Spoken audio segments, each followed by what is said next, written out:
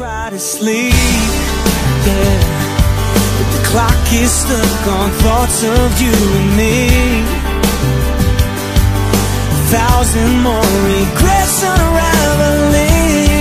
Oh, if you were here right now, I swear I'd tell.